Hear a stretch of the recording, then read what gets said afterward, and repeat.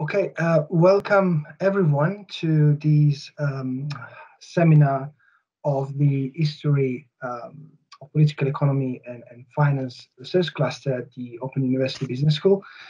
Uh, welcome everybody. Today we have Professor Gary Dymski, which is Professor of Applied Economics at uh, Leeds University Business School since 2012.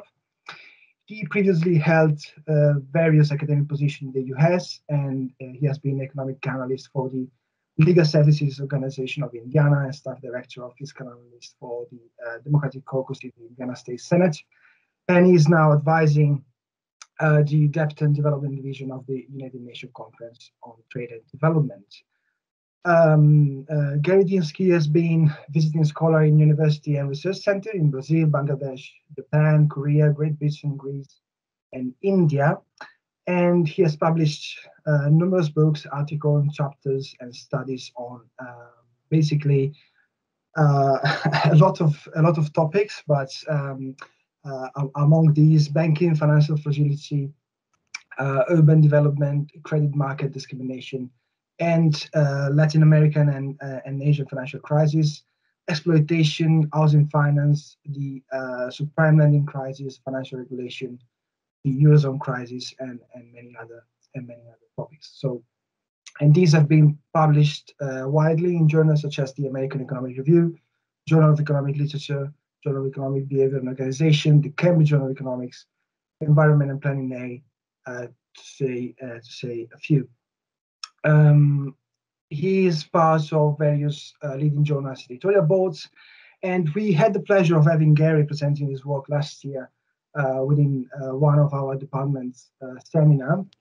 And we are even happier to have it again, this time with within our HYPE seminar series. And today we present a paper titled The Neoliberal Global Triad and Latin American Financial Trap, Contending Explanation of Microfinancial Crisis. So thank you very much, uh, Gary, for joining us today. I'm sure uh, everyone will enjoy your presentation and um, uh, there will be uh, time for a Q&A session um, at the end. So thank you, Gary. The floor is yours.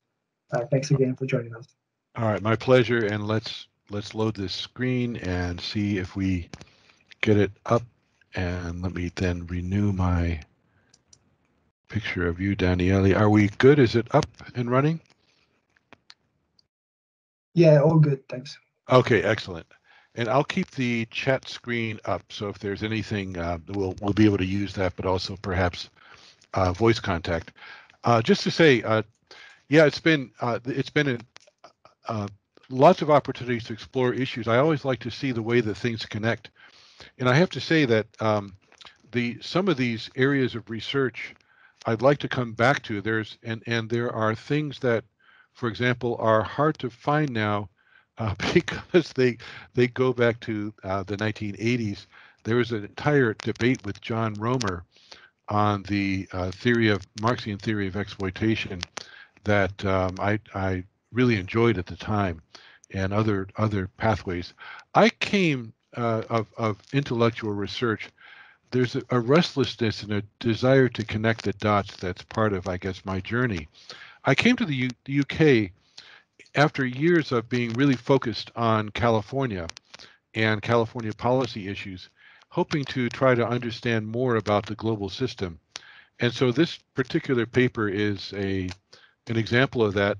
And one benefit of coming to Leeds has been the chance to work with amazing doctoral students. And uh, this paper is co-authored with Nicole uh, Cerpa Vielma, who is now uh, writing her thesis with uh, on uh, some aspects of Latin American finance and macro at Leeds, and she is in that part of her thesis where it's time to just crank out the chapters.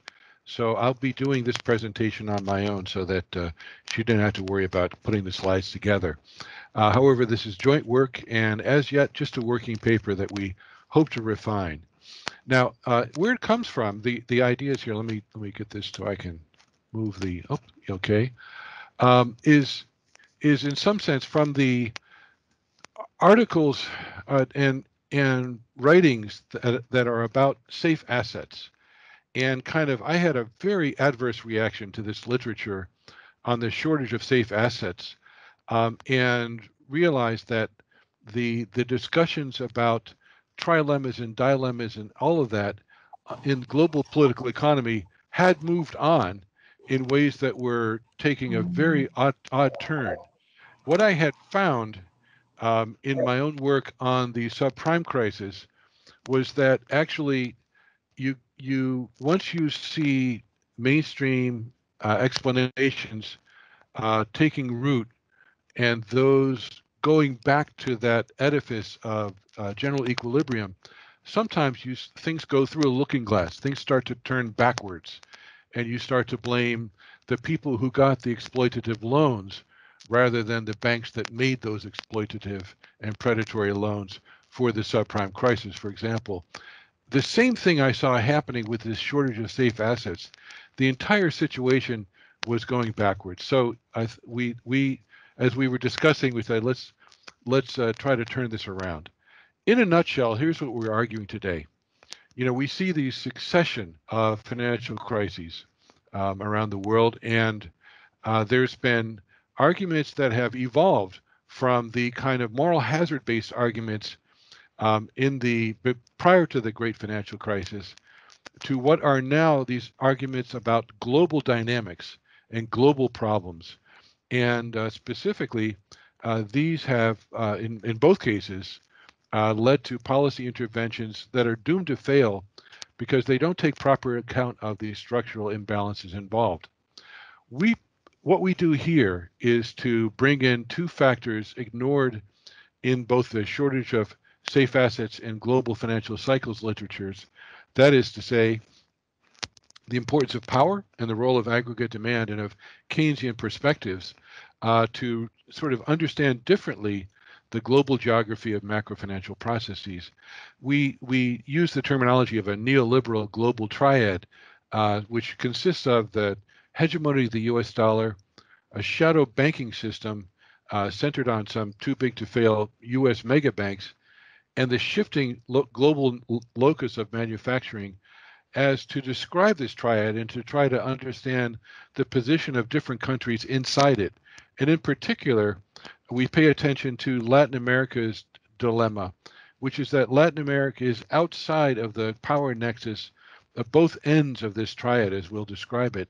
And that is why we see some of the perverse things we see, which include the fact that the nations of Latin America, by and large, have current account deficits and yet are over borrowing systematically so as to build up their foreign reserves. And you ask why, and it has to do again with global power. So let's just uh, start with an empirical baseline. There's a database that's been assembled by uh, numerous people. Well, this in this case, the IMF database is among them. Uh, Laeven and Valencia, they've got now several papers spanning uh, actually 12 years. And uh, what they do is they've tried to, you know, lay out here the different crises. This is their picture of uh, overall financial crises. And notice that the scale here uh, goes up to about 20 or 23 financial uh, crises of various kinds divided by groups banking, currency, and sovereign debt. Now, what I'd like you to do, we're going to turn and do our next picture on Latin America. And notice first the change in scale. Uh, oh, I'm sorry. First, we'll just take a look at uh, Eastern Europe, Russia, Turkey. Um, and just to say, you know, here's an example of the kind of thing when you break it down. And you can see that if you if you look at these crises, they're very heavily concentrated in the period of transition from the socialist bloc to the capitalist bloc, so to speak, of the global economy. Um, okay, this is the one I, I would like to highlight here. Uh, the fact that you know what we have here is uh, the the parallel picture to the one that we had before. Uh, so actually, if you can look at that, goes up to 25 and so on, and notice the in particular, just have a look at the red marks, the the the it's not an elegant picture, but the banking crisis in red, because I, I, this is going to be something that we're going to need when we come back and look at Claudio Borio's argument specifically. Um, and now look here, I tried to make the red mark really uh, big because basically what you see is there's not much to report. We do have some banking crises, that's for sure, but notice that after 1998, you see none. Actually, well, actually, it looks like there's a couple. Uh, but basically, it's not about banking crises. It's mostly about currency crises and sovereign debt crises when it comes to Latin America. Uh, when we break it down, what we see there, of course, are these famous incidents. Here's a different map with, or the same map with some labeling. We see the Latin American debt crisis uh, triggered by Mexico's default in 82. We see the tequila crisis of Mexico in 94, and then the Argentina currency crisis and the, you know, all of that in 90. Well, there's the going for 91 and then 2002 and so on. Argentina, of course, remains pretty deeply in crises. And what I'd like to just highlight here is something that will become apparent when you when we get into the mainstream explanations. Look at the predominance of financial crises of all kinds in Latin America and in the Caribbean compared to other regions of the world. Now, there's a lot that could be said here, uh, but just notice that in Western Europe, you see those 20 crises in the 2000s. That's pretty much the subprime crisis there. Eastern Europe, again, as we saw, you see those transitional crises. And in East Asia, you see the uh, big blot of uh, crises in uh, 1990s. And that's something that, of course, reflects the East Asian crisis. But Latin America, you see it all the way through, not just the 80s, but all the way through. We see a lot of events. And our question, in some sense, is why? Why this vulnerability? Why do we see this? Okay. Um, and I, I just uh, want to say we see this, we're going to see this because we're going to look at history. And I just want to do a page, I can't resist. Uh, my favorite all time graph. Um, I was able to get some data from the BIS, uh, the uh, Bank for International Settlements, the big banks that report to the BIS. And for some time, not forever and not anymore, uh, basically after the Latin American debt crisis and until uh, the early 2000s, there was reporting on who held claims by country uh, and by by area of the world. And uh, what we see here, in the case of Latin America, is that it's Spanish banks and American banks that are predominant. In graphs I won't show you, you would see that in Africa it's been German banks and French banks that have been in the lead. And in Asia, it's been Japanese banks in the US. So you kind of see legacies of, uh, and UK was also prominent uh, in Africa.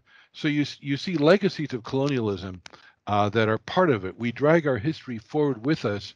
Our history turns into structure, and structure governs a lot of what happens today. And just to let's skip this one. This is just a proof that there was a lost decade in Latin America. But let's let's not look at this. Let's move on and get into the arguments. Okay. We start with mainstream explanations prior to 80, b- before the 82 debt crisis, uh, we actually had, uh, so that that's the crisis in Latin America, going way back uh, to the early 80s and then the 70s. We had explanations when we talked about debt crisis or problems in nations. We talked about structural conditions. Uh, Carlos Diaz Alejandro had some classic pieces, and uh, Paul Krugman, the kind of uh, shape-changing, you know, chameleon of economics, um, wrote a very famous paper on first-generation currency crisis. That basically it's weak fundamentals that can lead to severe de- devaluations. Now, after 82, remember that's a period, those years in which the structural Keynesian models are being replaced by dynamic equilibrium macro models. Initially, then the uh, business cycle model, real business cycle, and now eventually the DSGE models. Uh, and so the new Keynesians uh, who wanted to hang on to the idea that markets could be less than perfect, they were really working with game theoretic models in those days, and in particular, principal agent problems with asymmetric information uh, along the way were very prominent. These were eventually cooked into the consensus model that Michael Woodford uh, put on offer, uh, kind of having accepted Ben Bernanke's surrender um, at some point in, in the 1990s. But uh, basically, being a little cynical there, of course, but basically, what we had to explain the debt crises of the 1980s were these country specific problems that didn't talk about structure. They talked about willingness to pay, moral hazard problems. And in fact, we have these very odd pieces of work by the now critic of the uh, global system, Stiglitz, and two of his co authors, who talked about the problem of country risk as being due to a, a, in, a, an unwillingness to pay because penalties were set too low. Um, and so there's this kind of paradoxes of sovereign lending. Why does it ever occur if these borrowers are going to be unreliable? Now, notice that the detail about all of the aspects of this lending just disappear. Was it really Mexico that uh, took the loans? No, it wasn't. It was companies inside Mexico, Pemex, etc. Uh, and it was inside Brazil, uh, Petrobras and other com- uh, com- companies that took these loans that then ended with the sovereign uh, countries once they went bad. But the notion that there was a bargain and uh, that that the borrower nation is something that can just be seen as a simple agent in in in a relationship with a lender is of course an institutional lie. Uh, but this was actually uh, krugman took a version of the eaton Gersovitz stiglitz model and built his famous little model of crony capitalism in explaining the east asian crisis.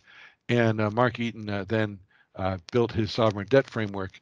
Now, Red, you know, there's this idea here, right, that you know things go along, and then there's problems, and then we recreate the problems. There are other ways of looking at these problems. These are not what we'll look at today. Uh, there is uh, Darity and Horn talked about global financial market segmentation. Uh, and working with Manuel Pastor, we came up with some ideas about class conflict uh, inside the borrower country that could be part of it. Um, and then just generally speaking, Eichengreen, and Lindert just said, you know, what, you know, how come there's re- repeat default borrowers if indeed uh, that moral hazard argument is so important? So now what happened though was that by the 90s, uh, bank lending crises are becoming uh, more and more frequent. They're matched by currency crises. And IMF researchers start to go more general in their view. Uh, in particular, Demigerku Kunt and Detriarch, uh, Detra, ay, sorry for that, Detragiache, uh, um, they they wrote a couple of important papers. There were other players, um, but basically they in their 2005 paper, they explained what was going on at the IMF with the, uh, in particular, this was motivated by the East Asian crisis, which was such a complete surprise for the IFIs. With the arrival of the 90s, financial crises in which the banking sector played center stage and macroeconomic consequences were sharp and at times protracted became more and more widespread. Bank fragility was pervasive and multifaceted, a phenomenon ripe for more systematic empirical investigation. So these researchers, they began assembling time series of cross-border financial crises and, and put these and then looked using time series methods, looked at patterns and you know and, and for explanations there. They didn't really come up with much. You know, they I mean you have a database that compares, you know, India 1966 with uh, Brazil 19 you know, uh, 82, et cetera. I mean, it's a pretty dispersed database, and it sort of it sort of turns history into a history and makes it a, a statistical data series. Um, uh, but basically, what they show is that there's a you know no one factor. Uh, you can see that uh, those two authors uh, from the IMF uh, actually come up with one conclusion in 1998 and a different conclusion in 2005 uh, like the finance and growth literature, they end up kind of scratching their heads uh, about what the relationship really is. Um, and meanwhile, other theorists uh, turn to other explanations that again uh, look at factors external to borrower countries. Now, there, this kind of sets the way for uh, basically a shift from since there was that you know that that those database approaches of the IMF with each nation state recording a line of data with various observations doesn't really lead to much. And it open and that combined with the recurrence of financial crises leads to the um, emergence of a new stage in investigation. This is the stage where we are now where we turn from the fitness or willingness of nation states as to be good borrowers which was the road taken either structurally in the old days or by the principal agent uh, modelers in the 80s and 90s. And now we sh shift instead to the very logic of global, cross border global financial flows as such.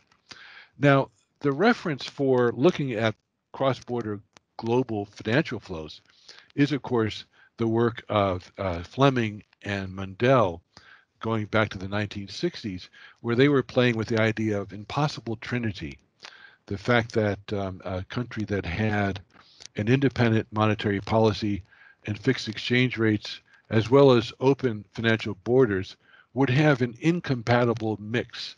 One of those things would have to go because it would be impossible to sustain all three. And you know this led into a debate even amongst those participants.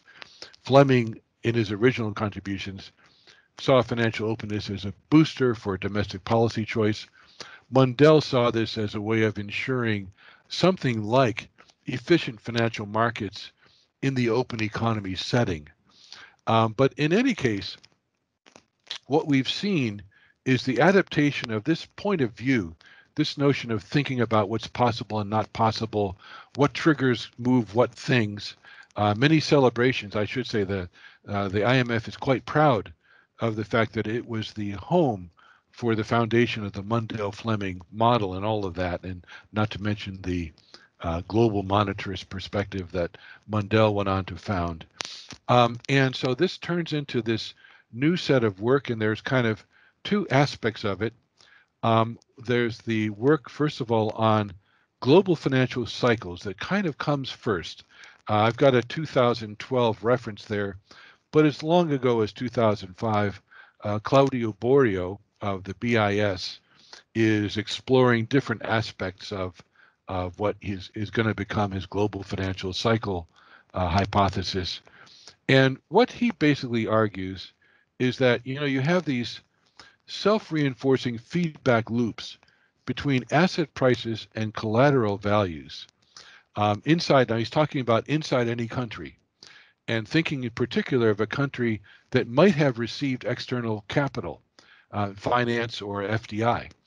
And basically, if the authorities react to the financial cycle and the fact that asset prices are going up, everything is good, and so on, then they won't react to the business cycle. They'll react to the financial the financial cycle. One should should note that in the era of the global factory, there are countries where the business cycle has been profoundly transformed um, as the relationship between production and consumption has become a lot more distant and uh, connected by supply chain rather than by local factories. That said, he talks about unfinished business cycles uh, can be problematic and can lead to asset booms and busts and more severe business cycles. He's actually there uh, thinking a little bit about the so-called Greenspan put of the early 2000s. Now, Passerian Ray, Helene Rey, uh, emerges as the other uh, protagonist of this literature on uh, global financial cycles, and they do lots of uh, you know kind of time series econometrics and other analyses. And what she and her co-authors find is that there's lots of co-movements. Uh, there's co-movements, gross capital flows, bank leverage, credit creation, and so on. And when they put in, uh, you know, controls for monetary policy and fixed exchange rates or or moderated exchange rates, etc., they don't get much. So they conclude that there is a dilemma, not a trilemma. Uh, developing countries are not actually able to set an independent monetary policy and then let's say um, open their financial bar- borders and, in their view, um, allow the exchange rate to fluctuate as they will. Um, basically, their point, and that's, for example, that would be what, say, a country like Brazil has been trying to do uh, for, I guess, for since the coming of the real. Um, and they would say, no, no, it doesn't work. Developing countries' only choice is how open they want to be to capital flows. Nothing else they do matters. So you look at that impossible trinity, it's just an on-off switch. Your independent, your monetary policy doesn't matter. Whether or not you try to fix your exchange rates isn't going to matter. The only thing that's going to matter for you is whether you're opening or trying to close your financial borders. Now, if that's the case, if there is something like a cycle, and you have to say that, right, I mean, it's kind of recognizing the power of unchained uh, financial globalization, which of course brings us this world of financialization and brings us this world of immense and hyper leveraged global financial flows. So, what's behind these flows? Now, this is where we get into the other star of the show that I mentioned, was kind of at least my trigger for some of this thinking. Uh, well, one explanation came from Ben Bernanke, 2005. Bernanke, of course, um, looking around as he's as we're seeing, you know, the uh, the the story uh, emerge at that point. Probably Ben knew uh, that the you know the the crisis was coming in the U.S. He blames the savings glut in Asia. He, you know, the argument that China's suppression of aggregate demand leads to excess savings that seek out U.S. assets and enable the current account deficit. I would just note that um, actually this notion that there's excess savings, if you follow it through, you follow that down the rabbit hole, that takes you back to the classical model, not a Keynesian demand led model.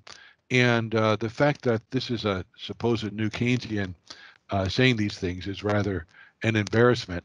But leaving that aside, it, it, I, I would interpret actually Bernanke's statement in 2005, since he was then head of the Federal Reserve, um, I, if I remember well, it was a political statement, right? Let's blame China. Um, of course, that's become a game. Um, but the other explanation, the one that's really seized the imagination of economic researchers now, is the immediately post-crisis argument made by Caballero, Krishnamurthy, and others. They argue that why do we see the crisis? Why do we see the all this bad debt crashing down in the financial markets on their knees and everything bad and the subprime uh, loaded uh, securities, you know, going down in value and the banks in danger of failing, etc. Well, why we see that is that this is all a, a reaction to the fact that there was an excess global demand for riskless assets. Okay, so here's the story. Foreign savers, um, like domestic savers, all savers, want a combination, they, is the premise, of risky and riskless assets. And so uh, basically, where do you find safe assets? Well, there's a shortage. Why? Because, right, we've been in some decades, these are the neoliberal decades in particular, in which many nation states have undergone uh, sovereign risk, sovereign debt crises, and many problems, especially in the developing world and developing economy world. And so basically, foreign savers come into the US to find those safe assets. Those are, of course, US treasuries, bonds, and bills.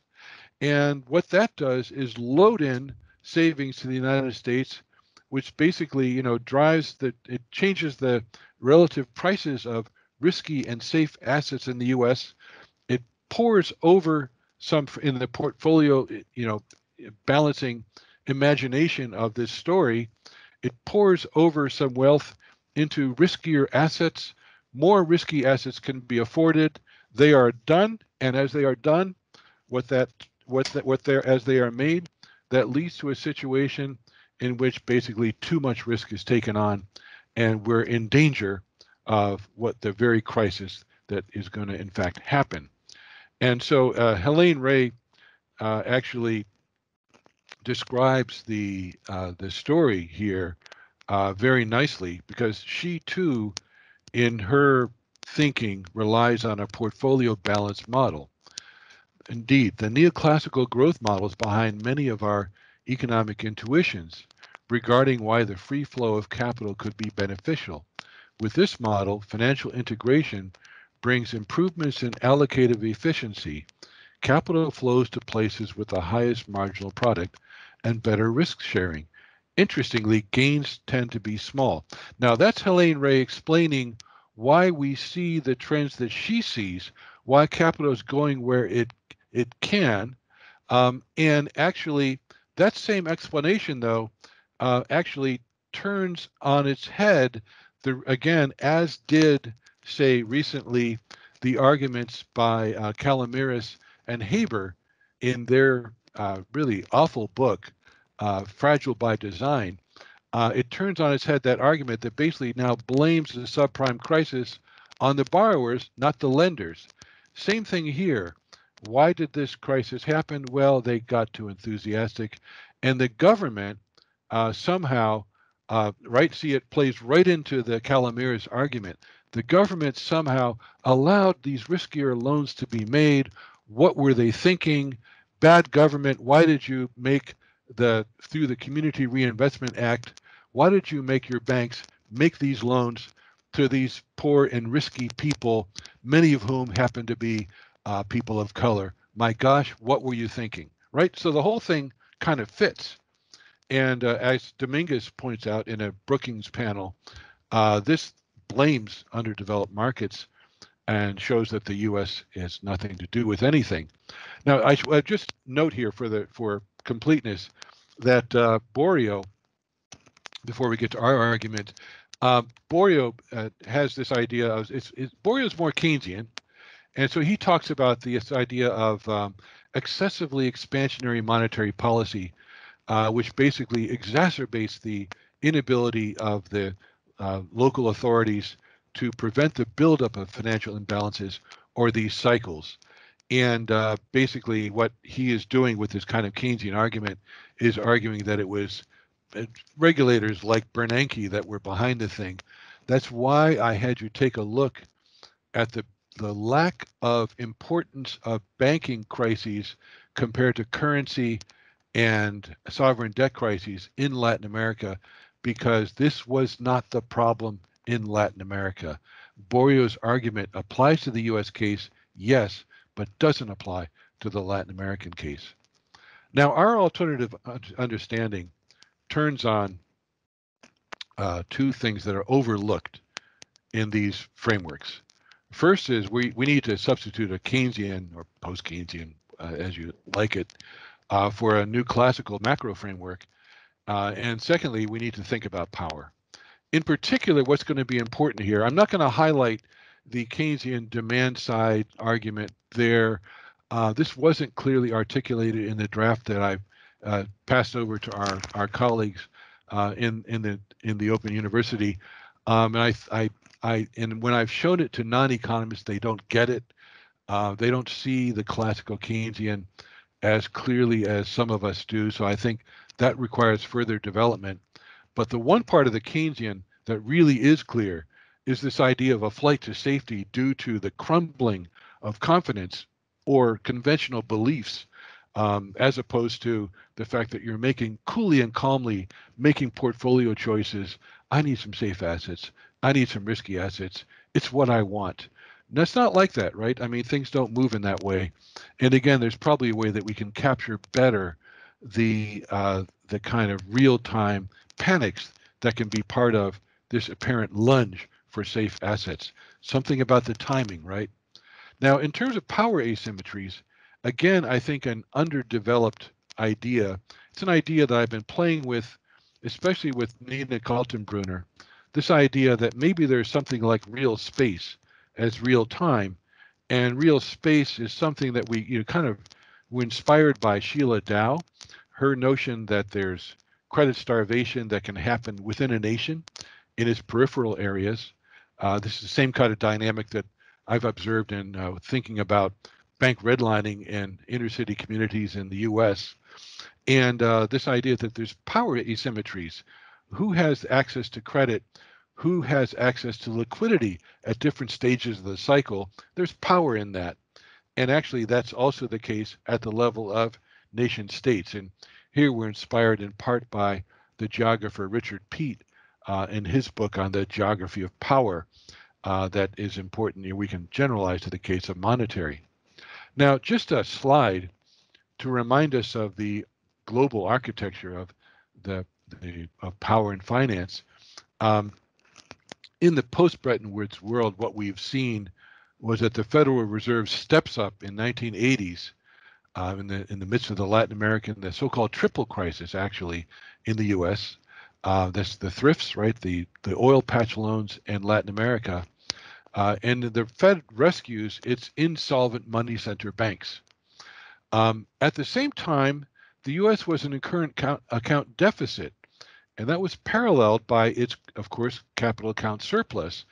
All of this was based in those years on the exorbitant privilege of the U.S. dollar and the need for safe haven assets in this world of you know, frequent financial crises.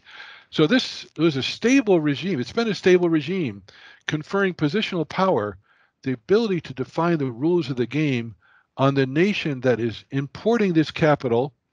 Uh, this nation deregulates, forces others to follow, in a sense, uh, France and Germany and others, and, and so on, and basically permits the rise and the global penetration of this U.S. mega bank centered shadow banking system.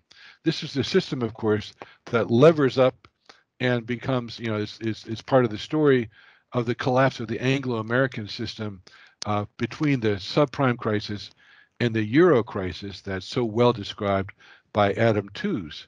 So, what we have here is this global pyramid, as Jane D'Arista's called it, where there's a country at the top that basically as it, that is at the nexus of financial global power. And this suggests that uh, basically, you know, that U.S. holding U.S. liabilities is a way to support financialization globally while basically destabilizing governments and allowing uh, government policies and allowing predation elsewhere. Now, the first test of a sovereign nation's financial power is whether its residents and businesses can use the currency that it issues in everyday transactions. You know, and then once that's established, is your currency held in reserve stocks by other nations? And we've seen again, Nina's work in particular shows that there's a very thin, and Bianca Orsi, there's a very thin currency hierarchy. Not many countries involved in that. Can it settle contracts outside its borders? Are the financial services, as in the City of London, for third party countries? Um, you know, basically, this when you lack financial power, then that's a source of financial fragility because you're going to have to borrow from overseas lenders in foreign currencies, not your currency. Um, now, one way to overcome the dependency that this induces, if you lack financial power, is to build up uh, a current account surplus, enter into the global factory, and basically build that trade surplus as part of what you're going to do.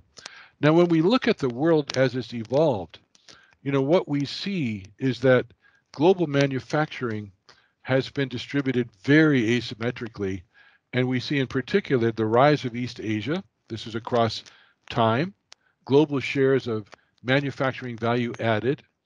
Uh, we see the, you know, of course, the, the prominence of China, uh, and and we see Germany kind of hanging on uh, but basically other countries, you know, going down. So we see this kind of global shifts of of uh, and notice that Latin America here goes toward an increasingly vulnerable position in this global system.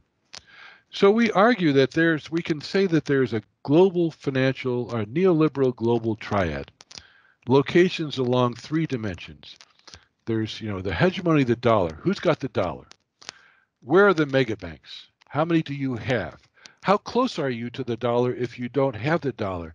Do you have a, a, a semi hegemonic currency that's easily tradable into the dollar and so on? Um, and then the third dimension is the global factory. So we have two kind of extreme positions in this in the world.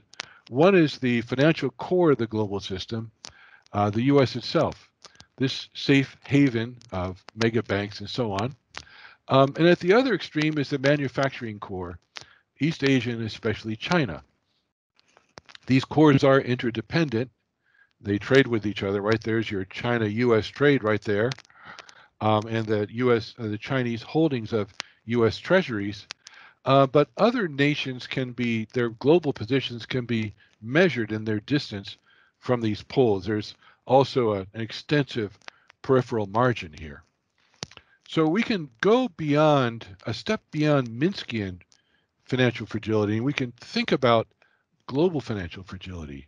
We have not just you know whether or not entities in a given country can uh, take care of the cash flow obligations that their debt claims have loaded them with, but we can also think of country risk. You know that the possibility that a loan made to borrowers in a certain nation perhaps cannot be made good.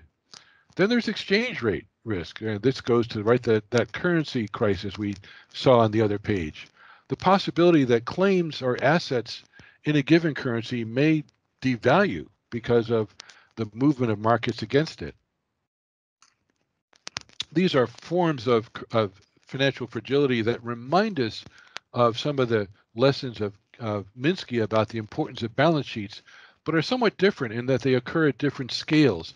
They occur more at global scales.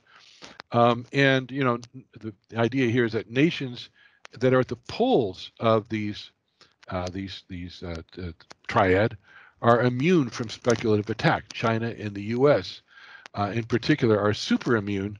But as you go away from those poles, you are exposed to this various forms of global financial fragility.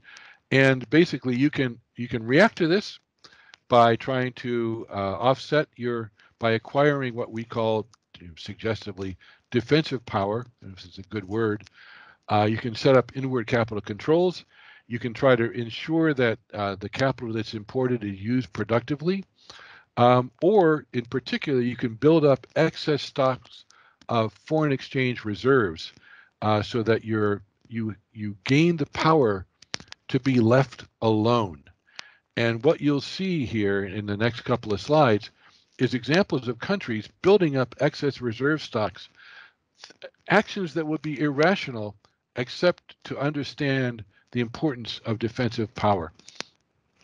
So first of all, we'll just look at India and Brazil, uh, and just to, to note that whether you measure it in billions of US dollars or as a share of GDP, the two axes, both of these countries have uh, serious current account uh, problems. Um, and actually, if we're then going to look at the net international position of both countries, and what we see here is actually there's been an increase in reserves assets held. Now that goes along with that current account deficit for India and other investments going down in net, right? So the net position is falling, but reserves are increasing. It is over borrowing to protect its reserve pile.